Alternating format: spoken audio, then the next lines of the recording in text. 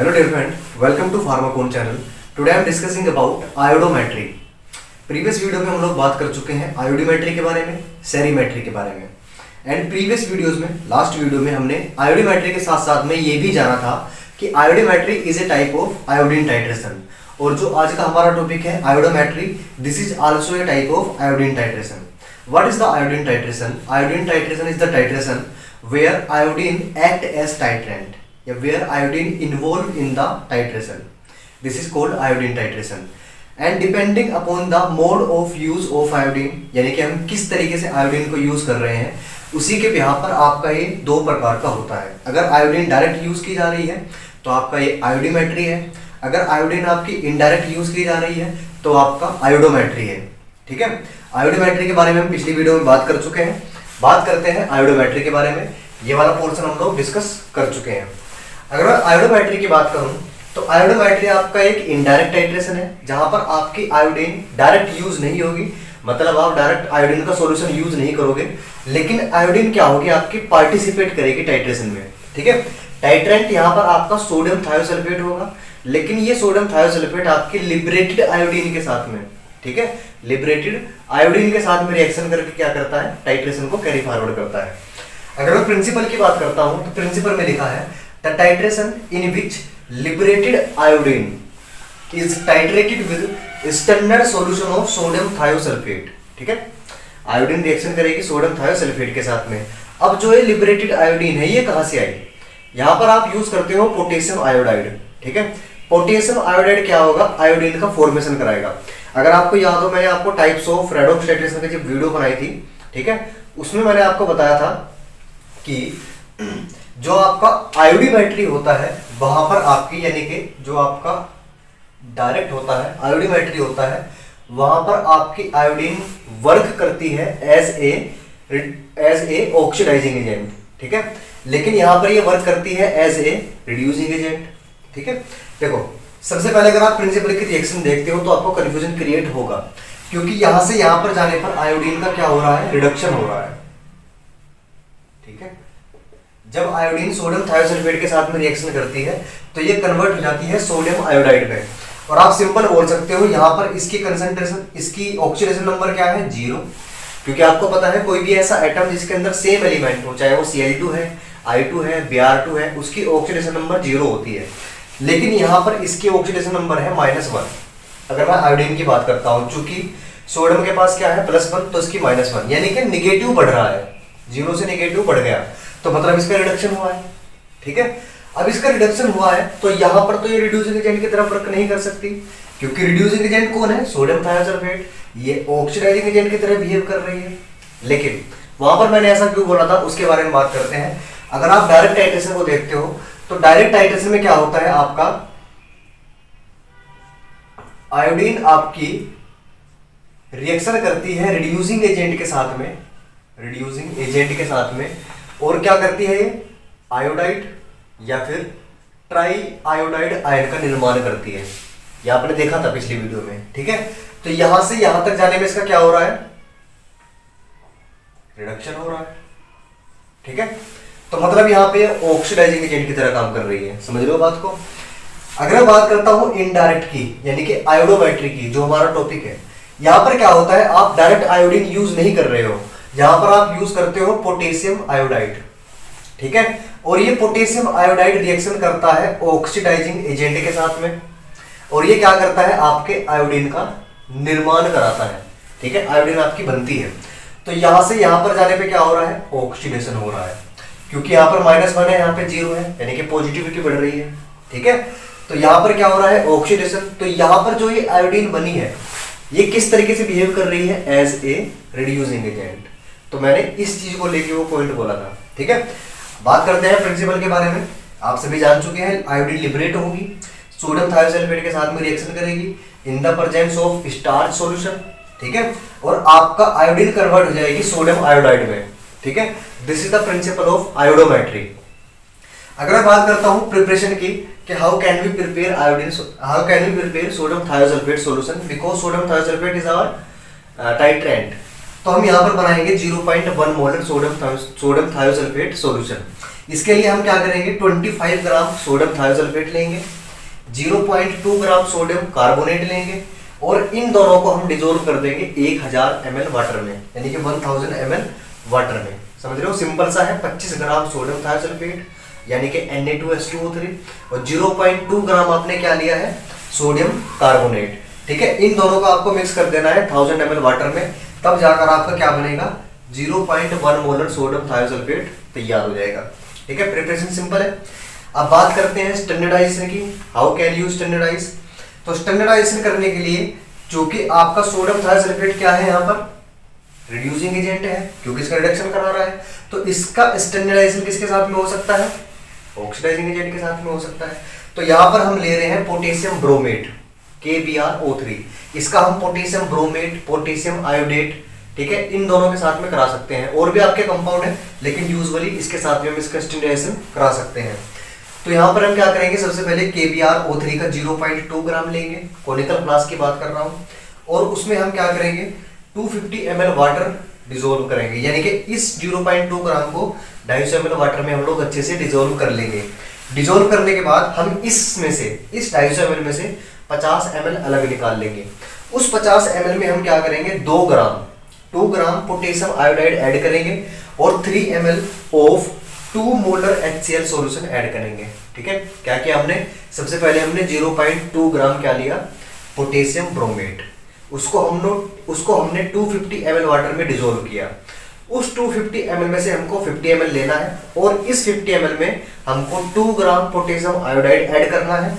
और 3 ml add करना है टू मोलर HCl सॉल्यूशन तब जाकर आपका ये पूरा तैयार होगा, ठीक है? तो आपके पास में K B R O three का सॉल्यूशन तैयार हो चुका है।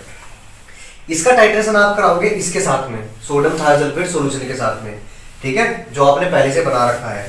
सो टाइट्रेट अबाउ सोल्यूशन जो आपने बनाया है with sodium thiosulphate solution using starch solution as indicator until the blue colour disappear got it आपको ये रिएक्शन तब तक करानी है जब तक आपका ब्लू कलर डिसअपियर ना हो जाए। होगा क्या आपका?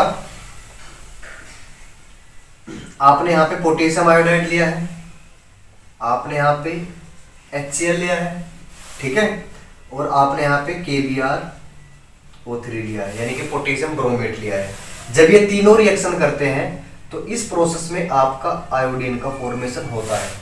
जो मैंने आपको बोला था लिबरेटेड आयोडीन तो यहाँ पर आपकी आयोडीन लिबरेट हो रही है। ये आयोडीन क्या करेगी? तब जाकर सोडियम थायोसल्फेट के साथ में रिएक्शन करेगी, ठीक है?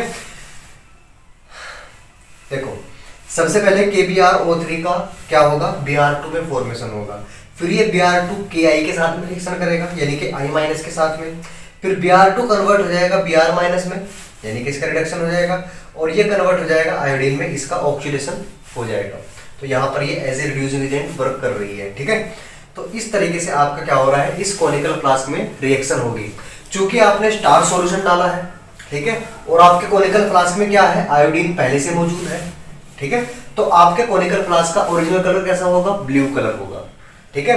जैसे जैसे आप इसके अंदर सोडियम थायोसल्फेट ऐड करते जाओगे तो ये आयोडीन आपकी कन्वर्ट होती जाएगी किसमें? सोडियम आयोडाइड में, ठीक है? अब स्टार्च सॉल्यूशन ब्लू कलर देता है आयोडीन के साथ में, ना कि सोडियम आयोडाइड के साथ में। तो जैसे जैसे आयोडीन आपकी कन्वर्ट होती जाएगी सोडियम आयोडाइड में, वैसे वैसे आपका ब्लू कलर भी क्या होगा? धीरे धीरे डिसेक्टर होता चला जाएगा। एक पॉइंट ऐसा आएगा जहाँ पर ये ब्लू कलर कंप्लीटली डिसेप्टर हो जाएगा परमानेंटली ठीक है? वही आपका क्या होगा? एंड पॉइंट होगा। गुट इट आई थिंक ये आपको समझ में आ गया है। मैं सिंपली बता देता हूँ ब्यूरेट में आपका क्या है? सोडियम थायोसल्फेट सोल्यूशन है Na2S2O3 है। और कोनिकल फ्लास्क में आपका क्या है? KBrO3 सॉल्यूशन है, जिसमें आपकी आयोडीन प्रेजेंट है। ये सोडियम थायोसल्फेट इस आयोडीन के साथ में रिएक्शन करके इस आयोडीन को क्या करेगा? रिड्यूस करेगा किसमें? सोडियम आयोडाइड में। जब तक आयोडीन प्रेजेंट रहेगी, तब तक कोनिकल फ्लास्क का कलर ब्लू मेंटेन रहेगा।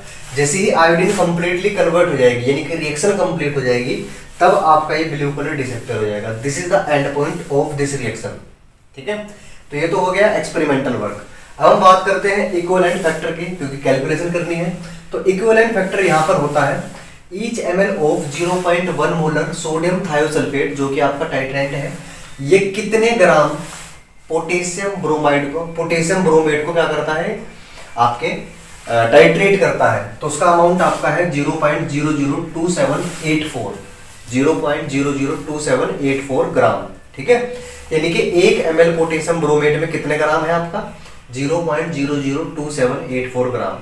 You can easily calculated आपको पता होना चाहिए कि पोटेशियम ब्रोमेट का फॉर्मूला क्या है। ठीक है? देखो सिंपल सा अगर मैं बताऊँ आपको तो 278.4 ग्राम क्या होता है? इसका फॉर्मूला होता है। ठीक है? और ये आपका होता है वन मोलर के लिए। ठीक है? इतने ग्राम आप 1000 हज़ार में डालोगे तो वन मोलर बनेगा। ठीक है? अगर मैं बात करता हूँ 0.1 मोलर के लिए तो 270.84 ग्राम इन थाउज़ेंड एम ये 0.1 मोलर के लिए है, ठीक है? लेकिन यहाँ पर आपका क्या है? एक हज़ार एम में है तो आपको 1000 से इसको डिवाइड करना पड़ेगा, ठीक है? तो आपका वैल्यू आएगी दिस इज़ 0.002784 ग्राम ठीक है? तो this is the equivalent factor for this reaction calculation की बात करते हैं, वही फॉर्मूला है जो अभी तक हम यूज़ करते आ रहे हैं। Molarity of sodium thiosulphate is equal to the weight of KbRO3 यानी कि पोटेशियम ब्रोमेट ठीक है, कितना है आपका? 0.2 ग्राम. तो ये 0.2 आपका यहाँ पर रखा जाएगा. Into expected molarity expected molarity आपकी क्या है? 0.1 मोलर है. टाइट्रेशन वॉल्यूम टाइट्रेशन वॉल्यूम जितने वॉल्यूम पर आपका एंड पॉइंट आया है, वो वॉल्यूम आपकी यहाँ पर रखी जाएगी. ये आपके दो वॉल्यूम कोई सेम आ जाए, उसको मान लेंगे. या कोई तीन बार टाइट्रेशन करके हम उसका एवरेज निकाल लेंगे, ठीक है? And equivalent factor that is the 0.00278 gram ठीक है? इन सभी को कैलकुलेट करके हमको क्या मिल जाएगी? Standard normality of sodium thiosulphate got it standardisation हमने किया। एग्जांपल की बात करते हैं। तो ये आपकी आयोडीन आयोडोमेट्री आपका बेसिकली यूज़ होता है। अगर मैं एप्लीकेशंस की बात करता हूँ तो ये आपका कॉपर सल्फेट के लिए भी यूज़ होता है। तो यहाँ पर हम एग्जांपल ले रहे हैं determination of copper sulphate by iodometry ठीक है? तो कॉपर सल्फेट का हम क्या करते हैं? यहाँ पर डिटर्मिनेशन करके देखते हैं। अगर इसके प्रिंसिपल की बात करता हूँ तो यहाँ पर क्या होता है? Determination of copper sulphate depend upon the instability of cupric iodide formed by reaction between copper sulphate and potassium iodide ठीक है? जब आप कॉपर सल्फेट को डालते हो, ठीक है? इसके साथ में पोटेशियम आयोडाइड के साथ में। तो in the presence of acetic acid copper sulphate plus potassium iodide in the presence of acetic acid ये आपका कन्वर्ट हो जाता है क्यूप्रिक एसिड में। किसमें क्यूप्रिक एसिड में, यानी कि सी यू आई टू में। ये क्यूप्रिक एसिड आपका इंस्टेबल होता है स्टेबल नहीं होता, क्योंकि इसकी इंस्टेबिलिटी का ही फ़ायदा उठा के हम क्या कर सकते हैं, पता कर सकते हैं। क्योंकि ये इंस्टेबल है तो आगे चल के टूटेगा किसी में? ये टूटता है आपका क्यूप्रस आयोडाइड में और आयोडीन में। ठीक है? और आयोडीन ही हमको चाहिए। तो यहाँ पर क्या बन जाती है आपकी? फ्री आयोडीन आपको प्राप्त हो जाती है। दिस इज़ द प्रिंसिपल और ये फ्री आयोडीन फिर आपके सोडियम थायोसल्फेट के साथ में रिएक्शन कर सकती है। ठीक है? जैसे कि हमने यहाँ पे देखा प्रिंसिपल में। तो प्रिंसिपल क्या है इसका? Determination of copper sulphate depend upon the instability of cupric iodide formed by the reaction between copper sulphate and potassium iodide. This is the reaction in the presence of acetic acid. ये unstable cupric iodide आपका convert हो जाता है या decompose हो जाता है किसमें? क्यूप्रस आयोडाइड में सी में और फ्री आयोडीन में. And this free iodine further react with sodium thiosulphate and reduced into sodium iodide ठीक है? तो हम लोग इसी प्रिंसिपल पर आ गए हैं, इसका यूज़ करते हुए. तो इस मैकेनिज्म पे काम करेंगे।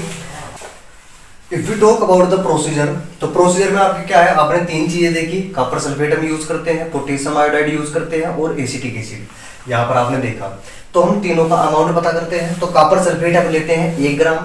ठीक है? बनेगा कितना है ज़ीरो पॉइंट वन मोलर जितना सोडियम थायोसल्फेट जितना टाइट्रेंट होता है, उतना ही टाइट्रेंट होता है यूजली तो एक ग्राम कॉपर सल्फेट लेंगे।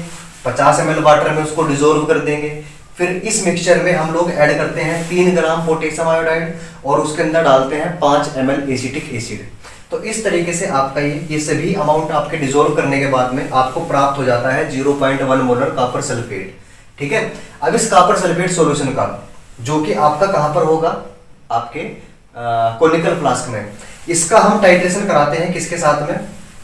सोडियम थायोसल्फेट सॉल्यूशन के साथ में। यानी कि आपका यहाँ पर अगेन ब्यूरेट में कौन होगा? सोडियम थायोसल्फेट होगा। और कोनिकल फ्लास्क में कौन होगा? कापर सल्फेट होगा। ठीक है? अब ये कापर सल्फेट नहीं है। इस कापर सल्फेट से आपको क्या प्राप्त हो रही है? आयोडीन प्राप्त हो रही है।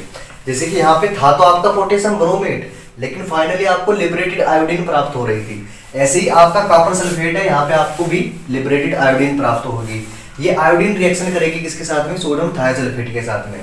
तो ये जो आपने कोनिकल फ्लास्क तैयार किया है, जिसमें आपका एक ग्राम कापर सल्फेट है, पचास एम वाटर है, तीन ग्राम पोटेशियम आयोडाइड है और पाँच एम एसिटिक एसिड है।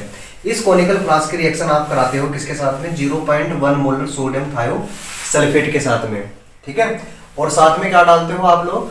स्टार्च सॉल्यूशन ठीक है? ये क्या है आपका? इंडिकेटर है। और इंडिकेटर कहाँ पे डाला जाता है? कोनिकल फ्लास्क में। तो कॉपर सल्फेट सॉल्यूशन में आप क्या डाल दोगे? स्टार्च सॉल्यूशन डाल दोगे। इन दोनों के बीच में आप रिएक्शन कराओगे रिएक्शन कराने के बाद में क्या होगा? अगेन आपका ब्लू कलर जब तक डिसअपियर नहीं हो जाता, तब तक आप रिएक्शन को कैरी फॉरवर्ड करते रहोगे। क्योंकि जो ये आयोडीन बनी है, ये सोडियम थायोसल्फेट के द्वारा रिड्यूस की जाएगी। जब ये कंप्लीटली रिड्यूस हो जाएगी मतलब रिएक्शन कंप्लीट हो चुकी है। और वहाँ पर जो ब्लू कलर बना था, इस आयोडीन और स्टार सोल्यूशन की वजह से वो आपका डिसअपियर हो जाएगा। ठीक है? इसमें एक एक्स्ट्रा स्टेप भी लिखा है आपका, जैसे कि फेंट ब्लू कलर रिमेन्स ठीक है, जब तक आपकी आयोडीन रहेगी, धीरे धीरे आपकी हल्का हल्का ब्लू कलर रहेगा। फिर हम क्या करते हैं, इस रिएक्शन को थोड़ा स्पीड से करने के लिए, बढ़ाने के लिए, ताकि आयोडीन आपकी कंप्लीटली लिबरेट हो सके और रिएक्शन कर सके। हम यहाँ पर कोनिकल फ्लास्क में दो ग्राम पोटेशियम थायोसाइनाइड भी डाल देते हैं। ठीक है? फिर ये क्या करता है कंप्लीटली इसको आयोडीन में कन्वर्ट करता है और आयोडीन कंप्लीटली रिएक्शन कर लेती है किसके साथ में? सोडियम थायोसल्फेट के साथ में। और फाइनली जो ब्लू कलर जनरेट हुआ है आयोडीन की वजह से वो आपका डिसअपियर हो जाता है। यहाँ तक आयोडीन है आपकी? ब्लू कलर रहेगा। आयोडीन आपकी इसमें कन्वर्ट हो जाएगी तो कोई कलर नहीं रहेगा। कलर डिसअपेयर हो जाएगा। ठीक है? अगर मैं इस रिएक्शन के लिए कापर सल्फेट के लिए इक्वलेंट फैक्टर की बात करता हूँ तो आपका है 0.02497 ग्राम ठीक है? Each M L of 0.1 molar sodium thiosulphate is equivalent to 0.02497 gram of copper sulphate. Got it इसको हम यूज़ कर सकते हैं किसमें डिटर्मिनेशन कर रहे हैं मतलब ऐसे कर रहे हैं तो परसेंटेज प्योरिटी पता करने में। परसेंटेज प्योरिटी का फॉर्मूला क्या होता है, आप लोग सभी जानते हो। तो वहाँ पर ये वैल्यू आपके काम आएगी and you can easily calculate the percentage purity or percentage of copper into the copper sulfate. Got it? This is all about the titration of iodine using indirectly, that mean iodometry. ये iodometry के बारे में था, जहाँ पे हमने principal की बात की। प्रिंसिपल में हमने क्या देखा? कि आपका सोडियम थायोसल्फेट लिबरेटेड आयोडीन के साथ में रिएक्शन करता है और उसको रिड्यूस कर देता है सोडियम आयोडाइड में। ये प्रिंसिपल था।